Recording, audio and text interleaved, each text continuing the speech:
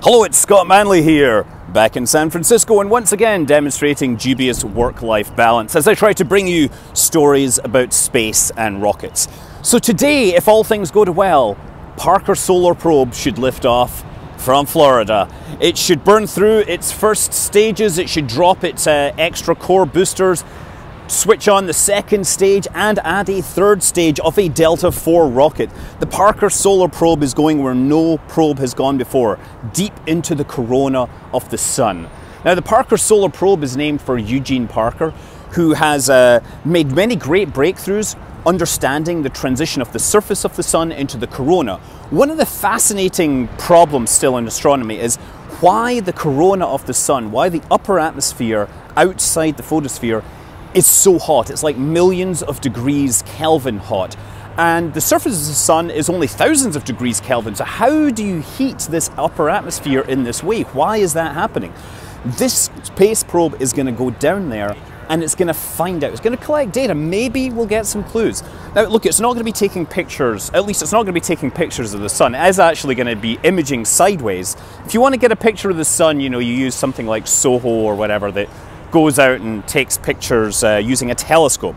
No, it's got to go and be there because it has to look at the particles and the energy spectra and the magnetic fields. And the only way to do that properly is to get down there.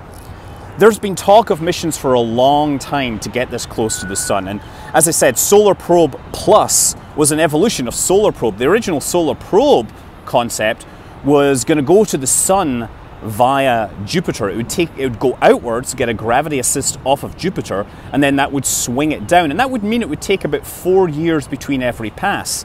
This one is being much more energetic. It's actually slowing down and it's leaving the Earth as one of the fastest spacecraft ever. It's not quite as fast as New Horizon.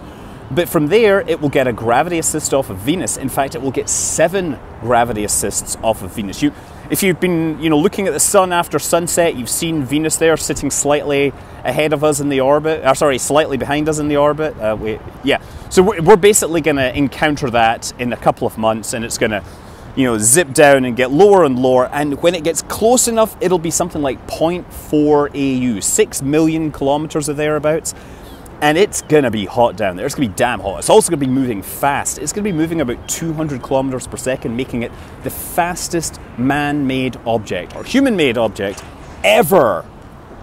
And that's just because, although it was originally slowed down, it falls deep into the sun's gravity well, and the gravity of the sun just kicks it up and makes it the fastest thing ever. So, this is, you know, breaking all sorts of records with this.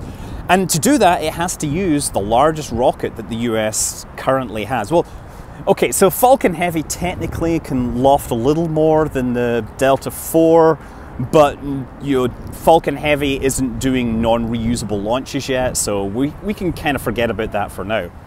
Interestingly, it was original. It's first of all, it's the only spacecraft, I think, the only payload that has ever used the Delta IV Heavy, where they essentially strap three Delta IVs together with an extra third upper stage in the form of a Star 48 uh, BV booster. So this is a solid rocket booster. The 48 references the 48 inch wide propellant casing. It's about two tons and it will add about 3.3 kilometers per second to the spacecraft. Yeah, no other payload has needed this. But originally, they thought that they would be able to launch this from an Atlas V with all five strap ons, but they would instead have a special Star 48 GXV, and G would mean graphite casing, X meant it was extra big, and V actually references a thrust vectoring nozzle because there are other versions of the Star Booster which spin up, uh, they're spin stabilized, and then they have a yo yo destabilization. So, anyway, yeah, they, they decided that, that developing a new booster was a little risky, so let's just use you know, this awesome Delta IV, which of course it's always worth watching Delta IV's launch because this thing sets itself on fire, epic style, and you are going to see a massive fireball since it is launching about 3 a.m. local time. It's going to leave Earth's sphere of influence going very, very fast, head down, encounter Venus in a couple of months, and uh, encounter Venus seven more times. The spacecraft itself has a hydrazine propulsion system, but there are no maneuvers that are required uh, other than course correction maneuvers. So already has the delta V once uh, that final stage light.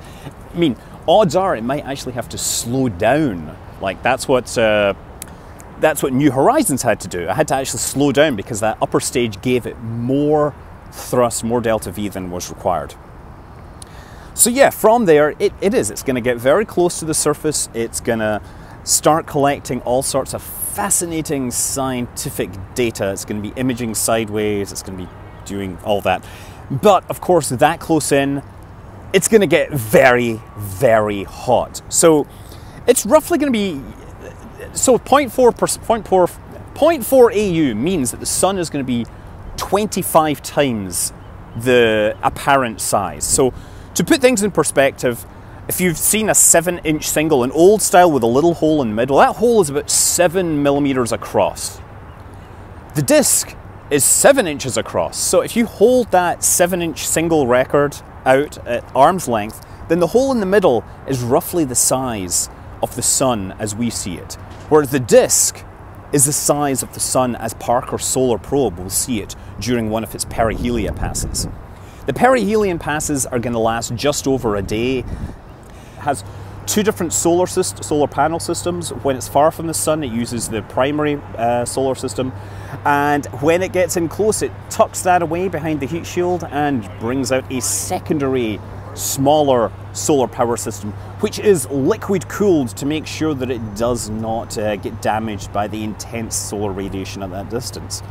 Because of, because it's going to be very hot, they have to have a sun shield. The sun shield is about uh, 20% of the mass of the spacecraft, and also the sun shield has to remain pointing very accurately continuously. If uh, they lose control for more than you know a few seconds, it could actually result in the spacecraft turning, and then you have that like that scene in Sunshine where bits of the spacecraft start melting and catching fire. So this is one of the most heavily uh, automated and backed up spacecraft. It has multiple fail-safe systems to make sure that there is a, a gap of no of less than five seconds between something failing and something taking control again. Attitude control is going to be by reaction wheels, but of course to desaturate those, they're going to need to have a hydrazine propulsion system, which will, you know, of course, help with attitude control. Uh, of course, the hydrazine propulsion system will eventually run out of fuel, and at that point, well, things are not looking good. The spacecraft will no longer be able to maintain pointing and will eventually melt, disintegrate, burn up, and all that will be left decades from now orbiting the sun will be uh, the heat shield. It will continue in the orbit for decades to come, a monument to an ambitious mission which went where no other mission has gone before. It'll be super exciting, and I, I can't wait to see the data. I mean, these missions are all about the data. Sure, it's a spectacular launch. It's amazing to set all these records, but what we're really interested in is what this is going to see when it is deep down in the million degree corona just above the surface of our sun. I'm Scott Manley. Fly safe.